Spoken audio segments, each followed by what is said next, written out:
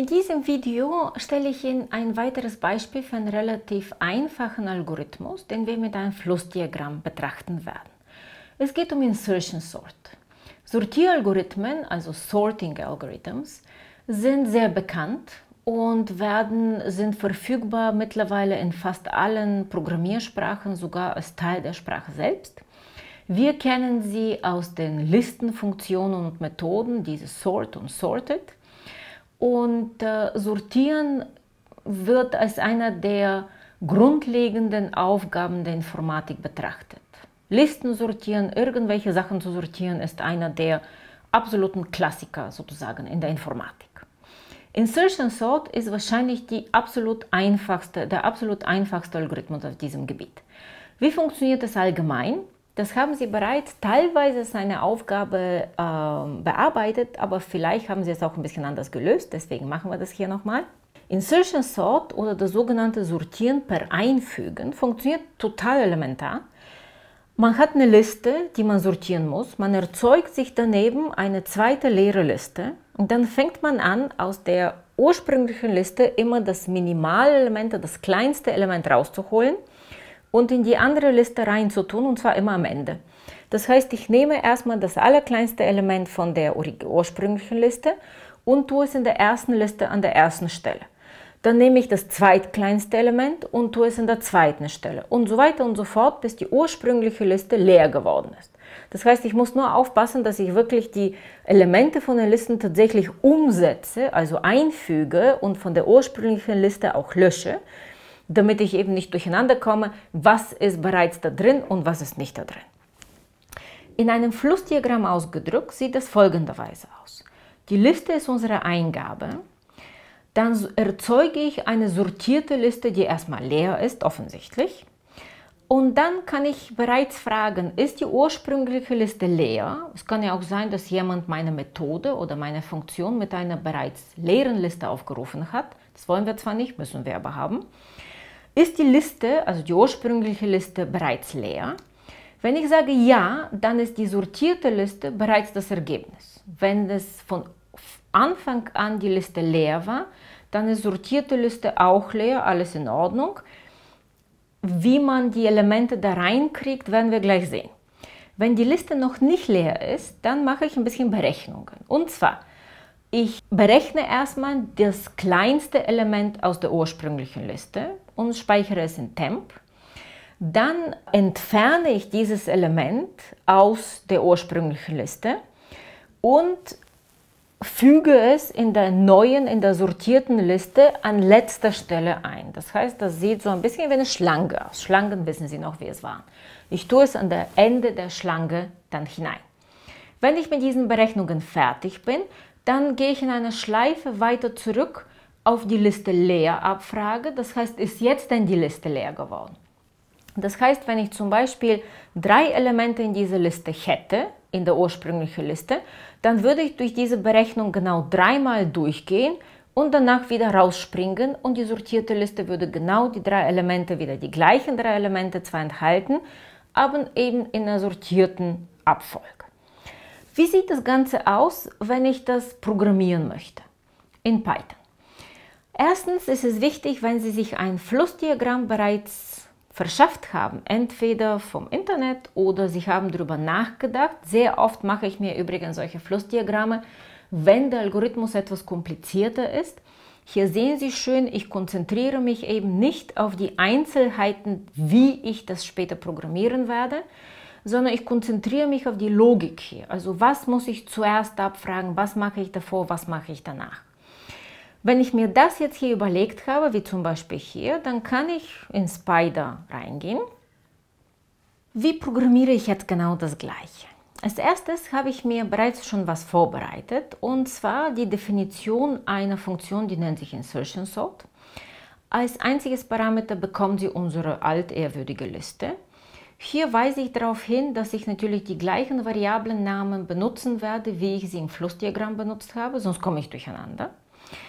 Und ich habe mir so ein bisschen Testcode vorbereitet und zwar drei verschiedene Listen, die ich zuerst die ursprüngliche Liste ausdrucke, hier zum Beispiel, und danach das Ergebnis von Insertion Sort auf diese Liste. Ich speichere die Ergebnisse nicht, das ist jetzt im Moment hier nicht unser Ziel.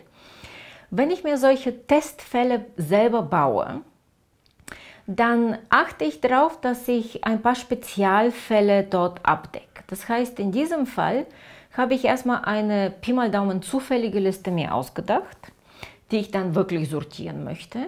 Dann habe ich mir eine zweite Liste, die eben genau umgekehrt werden soll, um einfach zu testen, ob das genau das Richtige tut.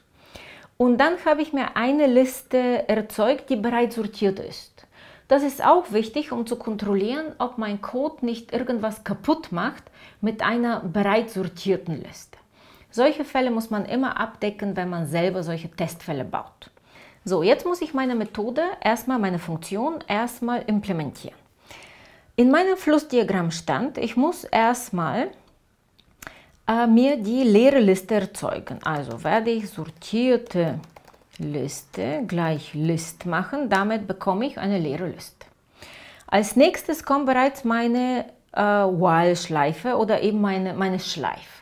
Jetzt habe ich natürlich die Wahl zwischen einer While-Schleife und einer For-Schleife. Da ich eigentlich die Anzahl der Elemente aus der Liste kenne, könnte ich auch eine Vorschleife einsetzen.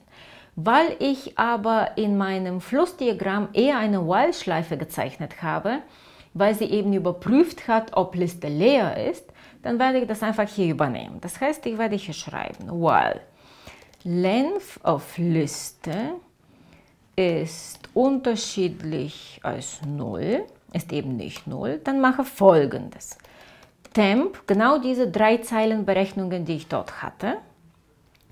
Temp ist gleich Minimum von Liste. Dann werde ich sagen, Liste, er hilft mir bereits, remove, da ist es.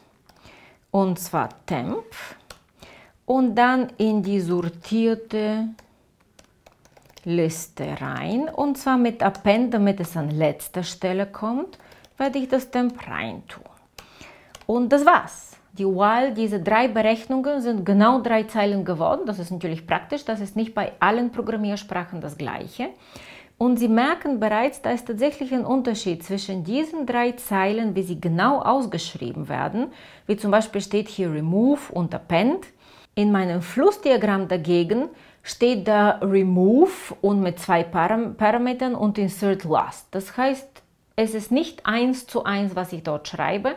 Natürlich tendiert man aber dazu, wenn man sehr viel mit Python zum Beispiel arbeitet oder mit C oder mit einer anderen Programmiersprache, dass man die gleichen Funktionen tatsächlich auch direkt hier benutzt. Das ist vollkommen in Ordnung. Äh, Sie müssen aber darauf aufpassen, dass andere das mitlesen können. Also Ihre eigene Funktion, Ihre eigenen Methoden sollten Sie da etwas vorsichtiger benutzen. Zurück zu unserem Spider. So, da, jetzt muss ich aber natürlich irgendetwas auch zurückgeben, denn sonst wird ja auch meine Print-Funktion nicht funktionieren. Ich muss sortierte Liste zurückgeben. So, wenn wir jetzt alles richtig gemacht haben, dann sollte es jetzt eigentlich auch funktionieren. Überprüfen wir mal. So, die erste Liste ist 34521 und die wurde sortiert mit 0111 und so weiter und so fort. Ich sehe sofort, okay, die haben die gleiche Anzahl von Elementen. Die 1 kam zweimal vor, hier kann ich es auch überprüfen, es sieht vollkommen richtig aus. Die Liste, die genau umgekehrt war, ist jetzt genau andersrum geworden, wieder richtig sortiert. Und die Liste, die bereits sortiert war von 0 bis 1, die ist jetzt auch immer noch genau richtig. Und alle drei Listen haben eine unterschiedliche Länge. Damit beweise ich so eine Art und Weise, dass meine Funktion eben auch mit verschiedenen Längen arbeiten kann. Das sind so Kleinigkeiten, die später für Sie natürlich klar und deutlich werden, ob man jetzt irgendwie mit der Länge das festgebacken hat im Algorithmus oder nicht. Aber äh, es ist eben wichtig, solche Fälle tatsächlich zu überprüfen. Und auf diese Art und Weise habe ich Ihnen jetzt auch gezeigt, wie ich normalerweise programmiere. Wenn ich ein Problem habe, eine neue Berechnung, die ich noch mir nicht, nicht so richtig überlegt habe, wie soll das funktionieren, dann überlege ich das tatsächlich anhand von einem Flussdiagramm und den Flussdiagramm bastle ich dann um in einen richtigen Programmcode. Ob es jetzt Python oder C ist, ist eigentlich vollkommen egal. Und jetzt wissen Sie übrigens auch nebenbei, das Insertion Sort ist. Dankeschön.